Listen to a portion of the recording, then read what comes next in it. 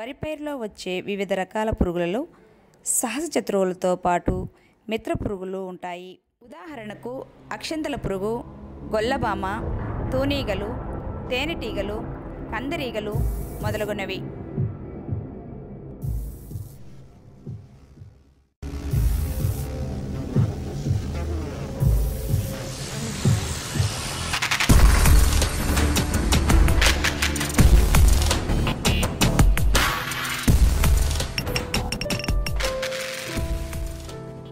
ఈరోజు మనం మిత్ర పురుగులైన సాలె పురుగుల ప్రాముఖ్యత గురించి తెలుసుకుందాం.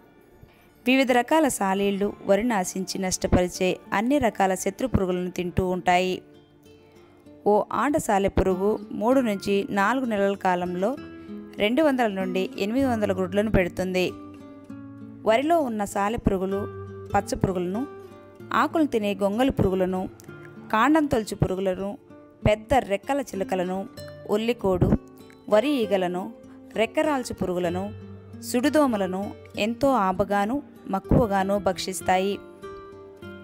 వరిలో లభ్యమయ్యే శత్రు కీటకాల సంఖ్య పరిమాణములను అనుసరించి ఒక్కో సాలె పురుగు ఐదు నుండి పదహైదు వరకు శత్రు కీటకాలను ఒక రోజులో తినగలవు. సాలె పురుగులలో కొన్ని సాలె గుళ్ళను కడతాయి మరికొన్ని మాత్రం గూళ్ళను కట్టవు. వరి పైరులో ముఖ్యంగా కనిపించే వివిధ సాలీల గురించి తెలుసుకుందాం. వరిలో మనకు ముఖ్యంగా కనిపించే సాలీళ్ళు తోడేలు సాలీడు శివంగి సాలీడు దుమికే సాలీడు పొట్టి సాలీడు గుండ్రని సాలీడు నాలుగు దవడల సాలీడు. ముందుగా తోడేలు సాలీడు గురించి తెలుసుకుందాం. తోడేలు సాలీడు వరి పిలకల్లో ఈ జాతి సాలీళ్ళు ఎక్కువగా మొదళ్ళ వద్ద సంచరిస్తూ ఉంటాయి. కదల్చినప్పుడు నీటి ఉపరితలంపై అమిత వేగంతో పరిగెడతాయి. ఇవి గూళ్ళను కట్టకుండానే ఆహారాన్ని నేరుగా తీసుకుంటాయి. కొత్తగా అప్పుడే తయారించిన మాగాణి భూముల్లోనూ మెట్ట వరి పొలాల్లోనూ తక్షణమే ఆవాసం ఏర్పరచుకొని శీఘ్రగతిన స్థిరపడి శత్రు పురుగులపై దాడి చేసి నష్టపరిచి శత్రు పురుగులను వృద్ధి చెందకుండా అదుపు చేస్తాయి. వీటి పిల్ల సాలీళ్ళు తల్లి వీపుపై స్వారీ చేస్తుంటాయి.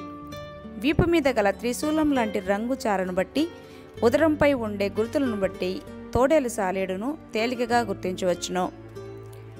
ఈ తోడేలు సాలీడు సుడిదోమ పచ్చదోమ తెల్ల వీపుదోమ ఆకుముడత పురుగు వరి ఈగ రెక్కరాల్చు పురుగులను తింటుంది. శివంగి సాలీడు. ఈ సాలీడు కూడా గూడు కట్టదు. దీనికి కావలసిన ఆహారాన్ని నేరుగానే తింటుంది. ఈ శివంగి సాలీడు పొడి ఆవాసాన్ని ఇష్టపడుతుంది. వరి పైరు బాగా ఎదిగిన తర్వాతనే నివాసం ఏర్పరచుకుంటుంది. తోడేల సాలేడుకు భిన్నంగా ఈ శివంగి సాలె పురుగు శత్రుచిలకలపై సుదూరంలో పొంచి ఉండి దాడి చేస్తుంది. కొత్త తరం పెంపొందకుండా శత్రు పురుగులను నివారించడంలో ప్రధాన భూమికను పోషిస్తుంది. ఉదరంపై గల మూల వంపుచార వర్తులాకార నేత్రావళి ఉచ్చు మీసాల శివంగి సాలీడు గుర్తులు. ఇక దుముకేసాలీడు నిడిపాటి గ్రుడ్ల సముదాయాన్ని సిల్క్తో కప్పి చుట్టిన ఆకులతో భద్రంగా దాస్తాయి. ఆడసాలి పురుగు గుడ్లు సముదాయాన్ని సంరక్షిస్తూ అరవై నుండి తొంభై పిల్లలను సాకుతుంది. పొడి ఆవాసాలను ఇష్టపడే ఈ దుమకేసాలె పురుగు వరి ఆకులలో ఉండిపోతుంది. చుట్టుకుపోయిన ఆకులలోనే చిన్నపాటి గూడు నేర్పరచుకొని మరో ఆకును కూడా అల్లి దాక్కొని పచ్చ పురుగుల కోసం నిరీక్షిస్తూ ఉండి పచ్చ పురుగులను నాశనం చేస్తుంది. అంతేకాకుండా ఇతర శత్రు పిల్ల పురుగులను కూడా కబలిస్తూ ఉంటుంది. కదల్చినప్పుడు ఇవి తోడేలు సాలీడులాగా వేగంగా పరిగెత్తలేవు. శరీరంపై గోధుమ వర్ణం రోమాలను బట్టి నొసటను గల విశాల నేత్రాలను బట్టి ఈ సాలీడును గుర్తించవచ్చును. పొట్టి సాలీడు. గోళాకార గుడ్లను సముదాయంగా పెట్టి పల్చటి దొంతలతో కప్పి ఎండుటాకుల మట్టలో దాస్తుంది. ఈ సాలీళ్ళు నీటి మట్టము పైన వరి పిలకల మొదళ్ళ మధ్య వక్ర గూళ్ళ నల్లి ఆ గూళ్ళలో చిక్కిన పచ్చదోమ సుడిదోమ పిల్లల్ని ఆరగిస్తుంటాయి. మాగాణి ఆవాసాల్ని ఇష్టపడే ఈ పొట్టి సాలీడు మందగతిన నడియాడుతుంది.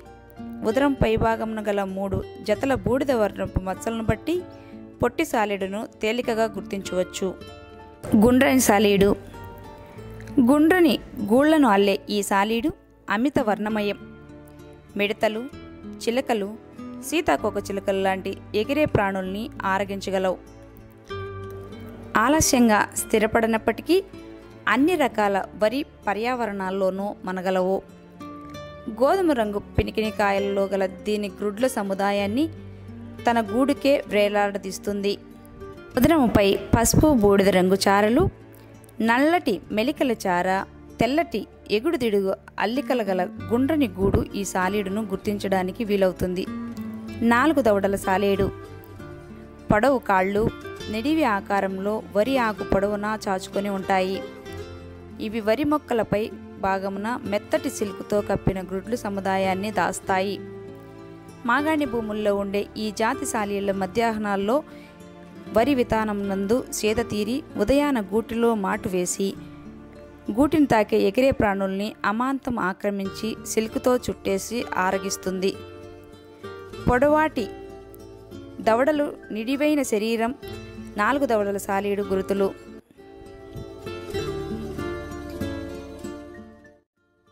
రైతు సోదరులారా తెలుసుకున్నారు కదా? ఈ సాలీళ్ళు మనకు ఎంతగా ఉపయోగపడతాయో? ఈ సాలీళ్ళు వరిలో మనం గమనించినట్లయితే పురుగు మందులు పిచికారీ చేయని పొలంలో ఒక చదరపు మీటర్కు అరవై నుండి డెబ్బై వరకు మనం సాలీలను గమనించవచ్చు. అదే పురుగు మందులు రసాయనిక మందులు పిచికారీ చేసిన పొలంలో ఎక్కడా మనకు సాలీళ్ళు కనిపించవు.